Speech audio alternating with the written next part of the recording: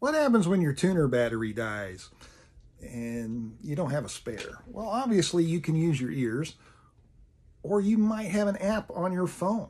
But did you know that you don't even have to have an app on your phone? There is a tuner built into Google.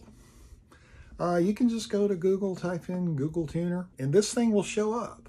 It works pretty well. It also has, down here in the bottom, it has a little metronome also works well.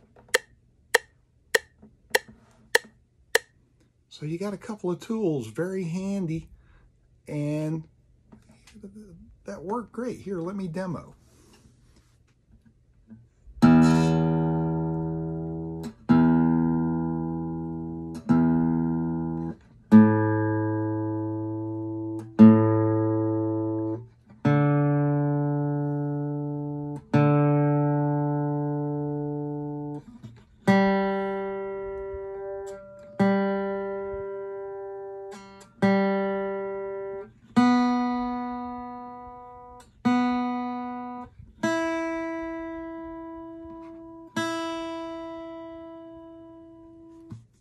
So there you go. It, it works great.